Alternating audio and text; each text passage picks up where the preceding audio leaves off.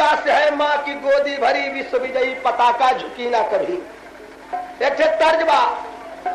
और तर्जबा वो है बा काशी भाई। तन के लिए सर। कि अब वतन के लिए सर। कटाते चले।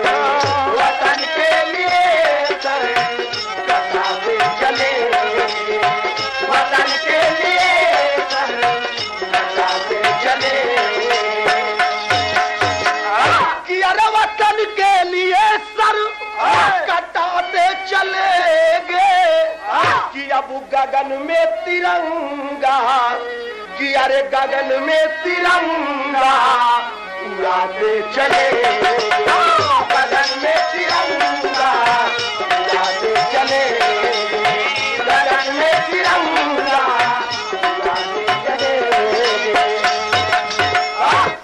अब सुना गाना का स्टोरी शुरू हो गई। प्रदेश सकल चलपुरी का गाँव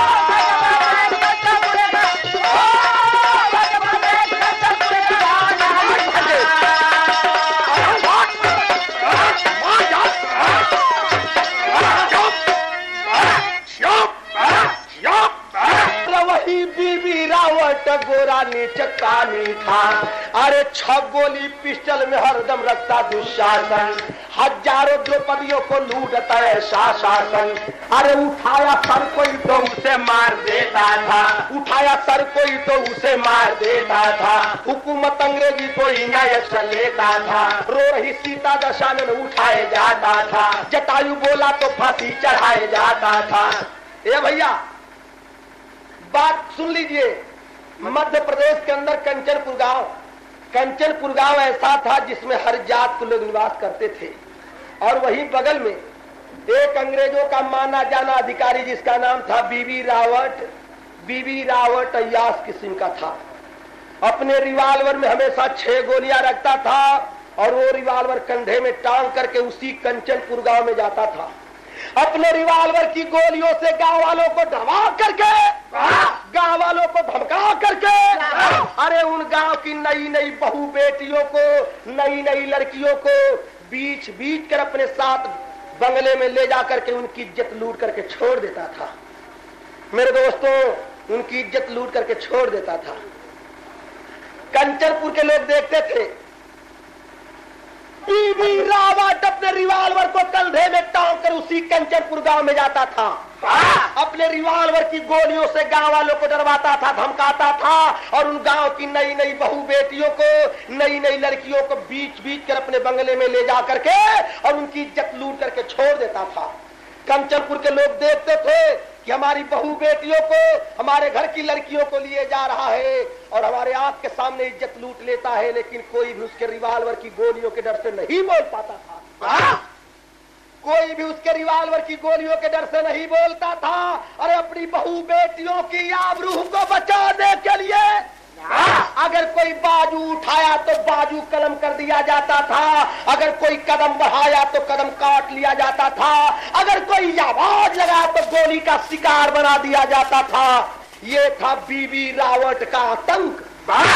मेरे दोस्तों बहुत दिन गुजर जाने के बाद उसी गाँव का एक अस्सी साल का बुढ़ा करता है ना भैया? दिन गुजर जाने के बाद उसी गाँव का एक अस्सी साल का बुढ़ा, जिसका नाम था ठाकुर दुर्विजय सिंह एक दिन अपने गाँव वालों की मीटिंग बुलाए और ठाकुर साहब ललकार करके गाँव वालों से कहते, क्या है? छत्तर रुपया भर के जो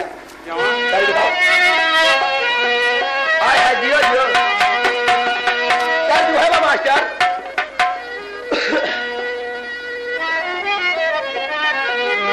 भैया तर्जवा है बा ललकार, देहलन ठाकुर साहब। कि अरे पितरी के ले यार कि अरे पितरी कले झूला नहीं आए बाला।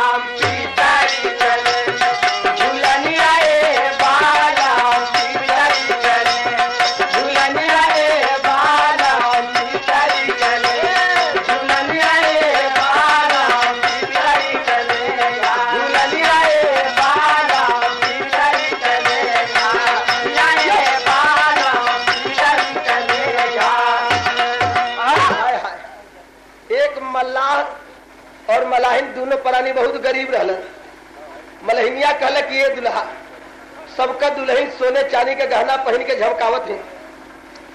और हमारे खातिर गरीबी में एगो पितरिया के नथुनी लिया देता। तो वही के पहिर के अपने करेजा के साथ बुताए लेती। कहलन देखबी इतना गरीबी हो कि खाए बर के न जुट बा तो गहना कहाँ से हम गढ़वा दी कहला, अरे, सोना चांदी के न सपरी तो पितरिये के लेते आया। कहले, पितरियो का हमसे न सपरी?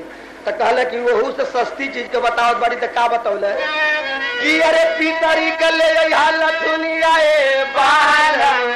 अरे मछरी के काटे के अरे मछरी के काटे के झुलनिया ए बालम।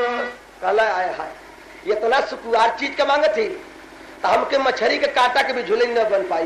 कहल तब ये चीज़ और सस्ती लेते आया जो रोज कामे आवे तो का बतौला कि अरे मछली के काटे का नथुनी आए बाल आज जब इहो न सपरी तो कवंती लेते आया, कि सुपक कठवती आयो। अरे सुपक कठवती आयो चलनी आए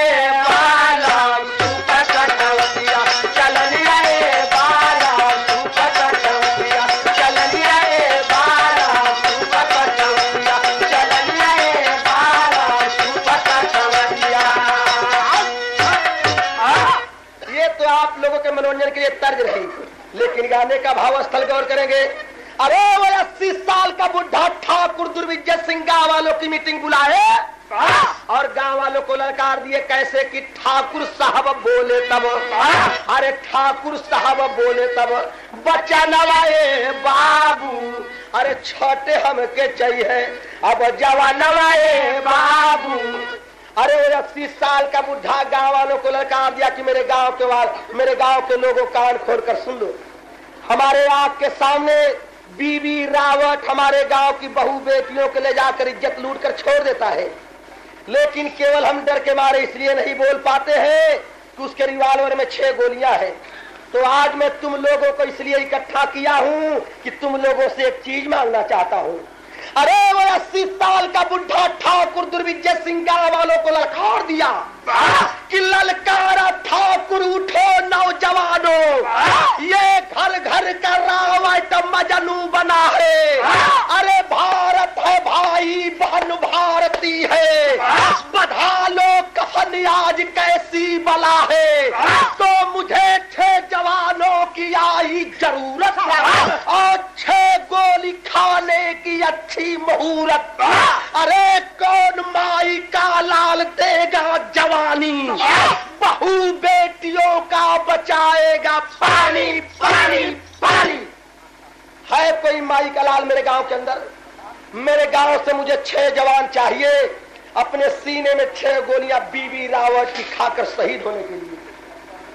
अगर मेरे गाँव से छह जवान बीबी रावत के रिवाल्वर की गोली खा करके शहीद हो जाते हैं, उसकी रिवाल्वर गोलियों से खाली हो जाती है तो हम बचे हुए लोग उसे लाठी से मारते मारते खत्म कर देंगे, लेकिन कोई भी माई का लाल गोली खाने के लिए नहीं तैयार हुआ। तो ठाकुर दुर्विजय सिंह को कहना पड़ा, कैसे तो नहीं भर के दिया? अरे खूनों की कौन होली खेलेगा? कि अब खूनों की कौन होली खेलेगा? अरे हवर लाठी, हवर है दुश्मन की गोली कौन होली?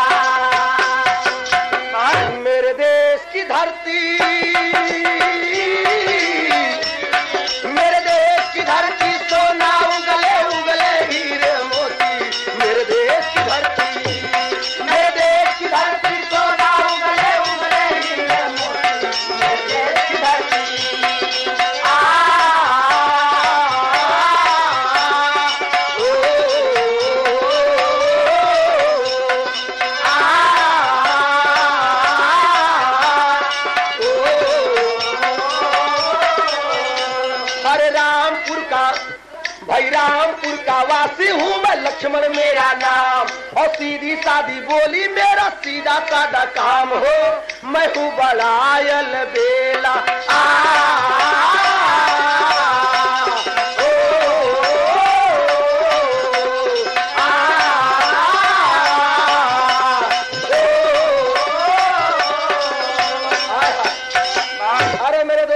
कोई नहीं तैयार हुआ गोली खाने के लिए अपने सीने में तो ठाकुर दुर्विजय सिंह धिकारते हुए गाँव वालों को कहते हैं कि अरे मेरे गाँव के लोगों, लानत है तेरी जवानी को, धिक्कार है तेरी जवानी को, कैसे कहे? कि धिक्कार है हमको ऐसी जवानी की जो अपनी घर की बचाए न पानी। अरे कहा भारत माता करेगी ये आशा? अब बुढ़ौती में ठाकुर लड़ेगा खुलासा? अरे खत्म कर देगा उस पापी की गोली। और खेलेगा ठाकुर ये खूनों की होली। तो मेरी लाश गिरे न देना सहारा। मेरी पीठ पीछे खड़ा दो जुझारा। ठीक है। अगर मेरे गाँव से कोई जवान नहीं तैयार है सीने में गोली खाकर शहीद होने के लिए तो ये अस्सी साल का बुढ़ा ठाकुर दुर्विजय सिंह छह गोलियाँ अपने सीने में खाएगा खून की होली खेलेगा लेकिन मेरे गाँव से केवल दो जवान इसलिए तैयार हो जाए कि मेरे पीठ के पीछे खड़ा होकर के इशारा किए रहे। ताकि जब बीबी रावट की गोली आकर के मेरे सीने में लगे तो मेरी लाश गिरे न। अगर दो जवान ऐसे करते तो छह गोलियाँ मैं अपने सीने में खाऊँगा। बढ़िए बचवा ठाकुर दुर्विजय सिंह जब ललकार कर गाँव वालों के सामने आवाज़ दिए तो उस गाँव का एक जवान तैयार हो गया गोली खाने के लिए। लेकिन वो कौन माई का लाल था, गौर करने की बात है। कौन था जो गोली खाने के लिए गाँव वालों में से तैयार हो गया? अरे खड़ा होके पंडित जी का बोले हसा भानावा।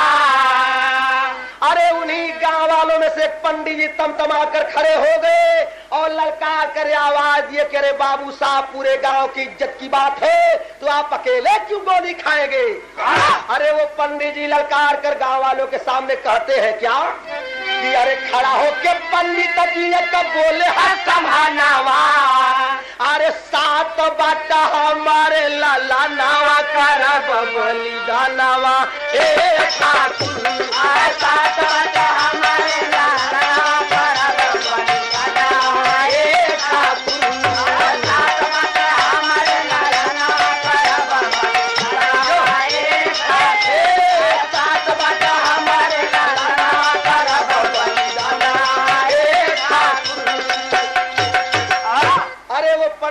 तमतमा आवाज़ दिए कि बाबू साहब, मेरे पास भगवान सात लड़के दिए हैं।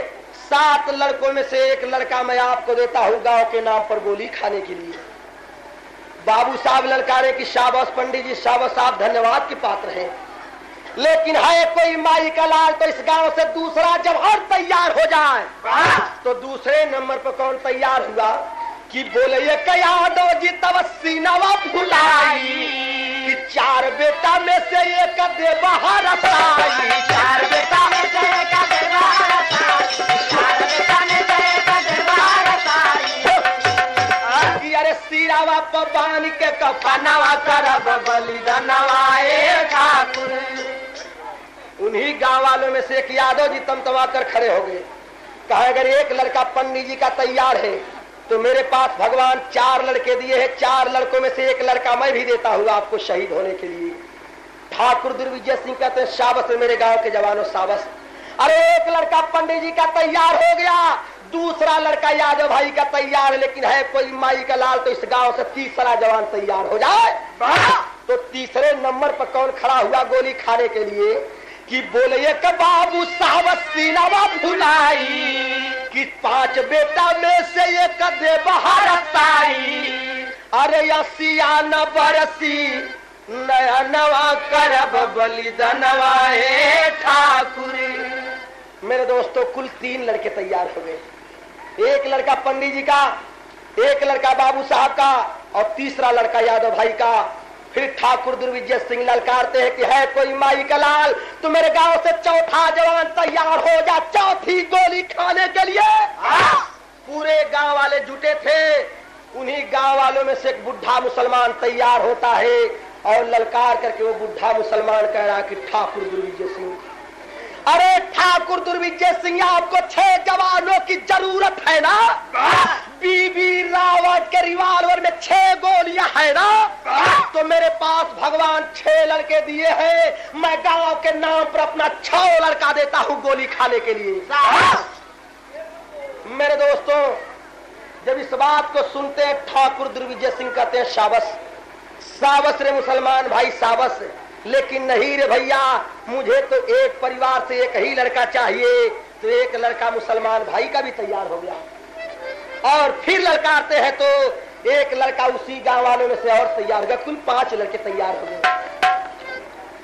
ठाकुर दुर्विजय सिंह को छठवां जवान चाहिए। बीबी रावट की छठवीं गोली खाने के लिए, अंतिम गोली खाने के लिए। ललकारते हैं कि है कोई माई का लाल इन गाँव वालों में से तो छठवां जवान तैयार हो जाए। लेकिन पूरे गाँव वाले जुटे थे प्रेमियों। बिल्कुल शांति का वातावरण, सब लोग नीचे गर्दन झुका लिए। छठवीं गोली खाने के लिए कोई नहीं तैयार हुआ। तो देखते हैं ठाकुर साहब कि मेरे गाँव का सबसे गरीब आदमी बिल्कुल भैया, मेरे बिल्कुल पीछे से खड़ा हो रहा है और वो तो रो रहा है। कुछ कहना चाहता है, ठाकुर साहब गौर से सुनने लगे, वो गरीब आदमी कौन था और क्या कहा ठाकुर साहब ने?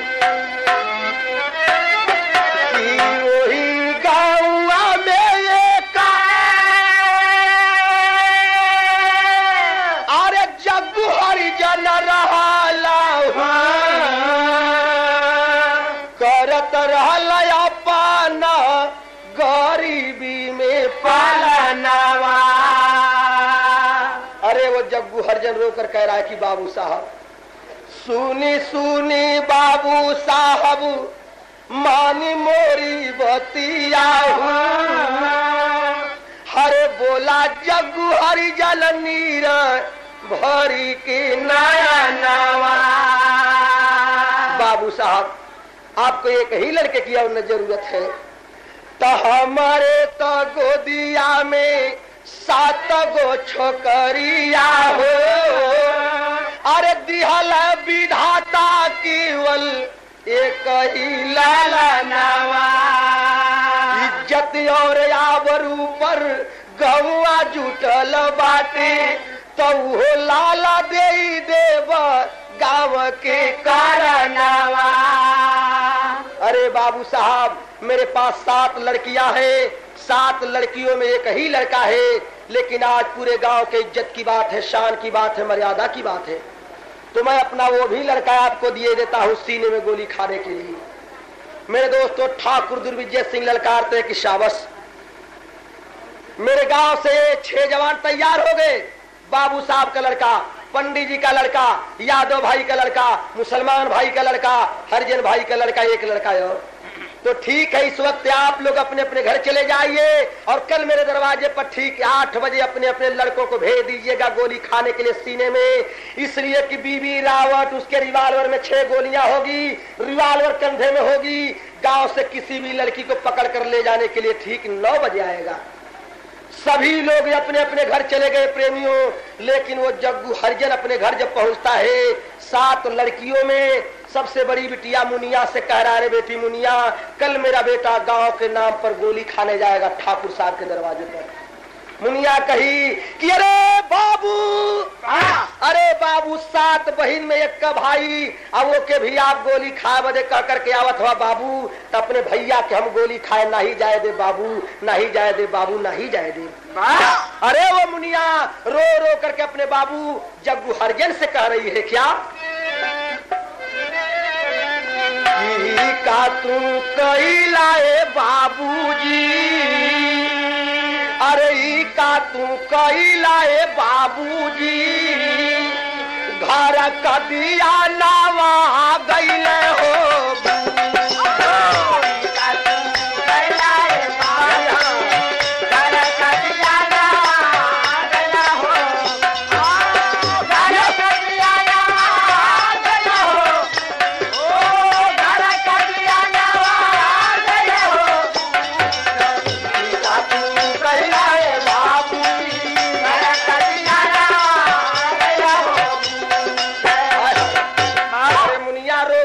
बाबू जग्गू हरिजन से करे कि बाबूजी? सात बहिनिया में ये कही बीरा नवा, के हमारे दुआर। के के भैया भैया कह बोलैबे, होई जइह घरवा ना तो होता सवेरा ये बाबूजी जइह सवारिया, बीच हो जूझे।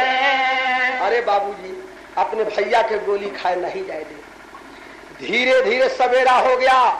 गाँव के पाँच जवान ठाकुर दुर्विजय सिंह के दरवाजे पर इकट्ठा हो गए गोली खाने के लिए। ठाकुर साहब देख लिए कि बीबी रावत अपने रिवाल्वर में गोलियाँ भर करके, रिवाल्वर लेकर के गाँव की तरफ़ आ रहा है किसी एक लड़की को पकड़ करके ले जाने के लिए। वक्त पर पाँच लड़के तैयार हैं, लेकिन छठवा जग्गू हरिजन का लड़का तो नहीं आया। लेकिन वो लड़का क्यों नहीं आया? जब गोली खाने जाने का वक्त हुआ, मुनिया अपने भाई को कमरे के अंदर बंद करके बाहर से ताला लाद कर देती है और वो मुनिया तो खुद उधर ही जा रही है, जिधर से बीवी रावट आ रहा था।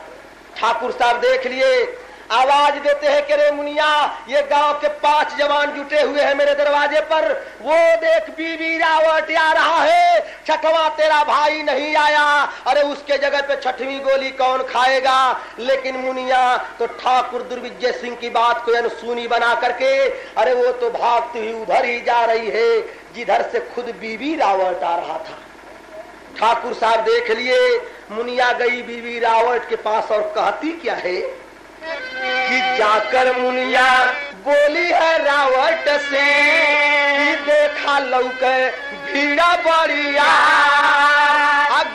का लोगा मोरे जूटल, आज दिहे तोहारा के मार। तो हर मत जा हमारे बाबूजी, कहिला चरा लिया तोहरी हो चू मेरे दोस्तों, ठाकुर साहब देख रहे हैं अरे मुनिया भागती हुई उधर ही गई, जिधर से बीवी रावट आ रहा था।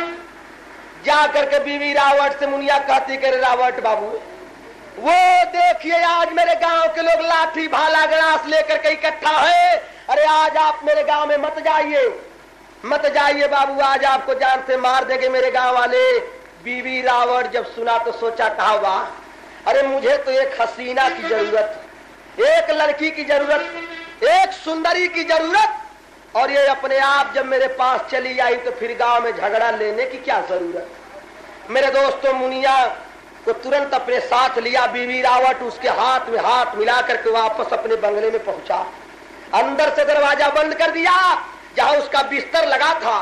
मुनिया लड़की को बगल में बैठा लिया अपने बिस्तर पर और कह रहा कि रे मुनिया, अब आ जरा मौज मस्ती आ जाए मुनिया कही रावट बाबू इस कमरे के अंदर और कोई तो नहीं है इस बंगले के अंदर। केवल हम और आप तो इतना घबराते कि वह जल्दीबाजी क्या है? एक काम कीजिए रावट बाबू, मुनिया कह रही है कि एक काम कीजिए रावट बाबू, कि अरे, आप भी निवस्त्र हो जाइए, मैं भी निवस्त्र हो जाऊँ तो फिर मज़ा आ जा बाबू जी बीबी रावट अपने रिवाल्वर को खूटी पर टांग दिया, अपने वस्त्र को निकाल रहा है, जब उसकी आँख ढपती है तो मुनिया लड़की उस समय चालाकी कर गई। उतार करके खूटी पर से रिवाल्वर बीबी रावट के सीने में सटा करके ललकारती है। कि अरे वो नीच का भी पापी हत्यारा, मैं उस देश की बाला हूँ जिस देश में गंगा बहती है, जहाँ राणा शिवा उधम सुभाष पैदा हुए, महात्मा गांधी पैदा हुए सीता सावित्री लक्ष्मी बाई पैदा हुई। भारत माता की। भारत माता की। कलाम कलाम आवाज़ लगा करके वो मुनिया ठाट ठाट ठाट तीन गोली बीवी रावट के सीने में छोड़ देती है। जब तीन गोली बीबी रावट के लगल दतवा चियार के खेकड़ा मतीन पसर गिलन मुनिया कल अरे इते एकदम से मर गया सोचल कि आय है ठाकुर दुर्विजय चचा, यही के मारा बदे छठे जवान जुटावत रहलन, और हम तो अकेले में मरली की मर गल ई खबरिया अगर चल करके ठाकुर दुर्विजय चचा से गाँव में कहब तो चाचा दौड़ करके हमके गोदी उठा लेन प्यार देवे लगे है। मेरे दोस्तों, यही सोच कर मुनिया दरवाज़ा खोल करके और गाँव की तरफ़ बड़े तेज़ी के साथ भगी है तो बीबी रावट के दरवाजे पर उसका एक पहरी पहरा दे रहा था। मुनिया को जब भागते हुए देखता है, अरे वो राज समझ गया, अपनी बंदूक उठा करके और मुनिया पर गोली चला दिया। जब मुनिया पर गोली चला दिया, बाबू, वो गोली मुनिया बिचारी के लग भी गई। लेकिन किसी तरह से लड़खड़ाती हुई वो बिचारी भागते भागते वहाँ तक गई जहाँ ठाकुर दुर्विजय सिंह गाँव के पाँच जवानों को लेकर के गोली खाने के लिए इंतज़ार कर रहे थे। दौड़ करके मुनिया ठाकुर साहब के चरण को छूना चाहती है, ठाकुर साहब कह रहे, नीच पापी जिसके लिए मेरे गाँव के पाँच पाँच छह छह माई के लाल अपनी जवानी लुटाने के लिए तैयार थे, और तू अपने आप जाकर के बीवी रावट के पास गाँव की इज़्ज़त बेच दी, और आई है मेरे चरण को छूने के लिए मुनिया उस समय रोकर कहते कि ठाकुर दुर्विजय चचा, मैं पापी हूँ। नीच हूँ चाचा, लेकिन मेरे शरीर को मत छूइए, पर मेरी एक बात तो छोटी से सुन लीजिए। मरते वक्त मुनिया रो करके ठाकुर दुर्विजय सिंह से कह रही है, क्या? कि जन छुआए पापी न जन छुआए पापी न कई बदनवा हमारे बाबूजी। और मारी के अली तोहर दुश्मनवा हमारे बाबूजी। कि ये कही बीरानवा के सात गो बहिनिया हो। हम मरी जाइब सब मिट जइह परेशानिया हो। हरे छ बहिनी का बची गईला बीरानवा हमारे बाबूजी। और यही बद देव गईली। जनवा हमारे बाबूजी। चाचा मेरे शरीर को मत छुइए। लेकिन एक बात सुन सुनिए, चाचा की तोहार दुश्मन मार के आवत है। ये बात जब ठाकुर दुर्विजय सिंह सुने हैं, कहा, बारे बिटिया शाबस गाँव की इज़्ज़त बचा ली बिटिया। दौड़ करके ठाकुर साहब मुनिया को गोद में उठा लिए और सीने से लगाकर उसे प्यार देना चाहते तब तक क्या हुआ? कि दौड़ के ठाकुर साहब हला गोदिया में उठाई हो। अब प्यारा देवल चाहे तवल मुनिया कला दिखाई हो। कि गोदिया ले उड़ी गईला परनवा हमारे बाबूजी।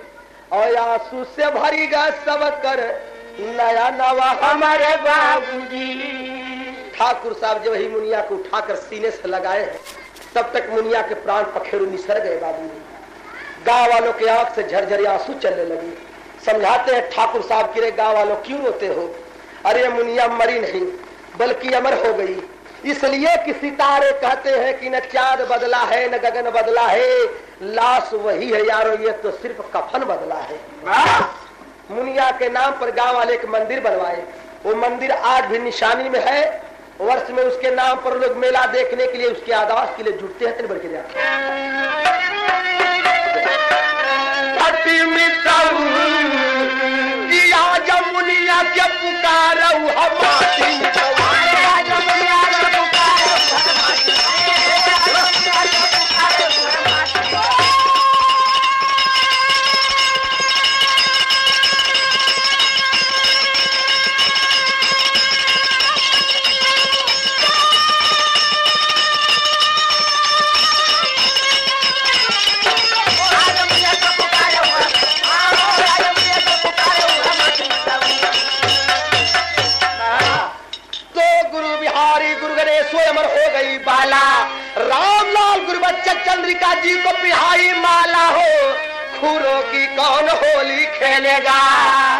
बेचन कवि के सौजन लगाया धूके गोली